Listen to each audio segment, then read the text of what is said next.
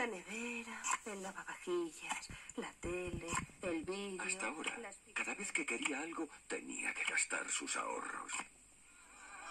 Ahora, en Banesto, sin gastarlos y viéndolos crecer cada día más, la nueva extra libreta le da puntos que podrá canjear por cientos de regalos seguros como estos.